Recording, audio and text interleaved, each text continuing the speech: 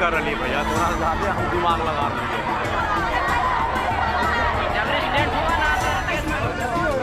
देंगे जब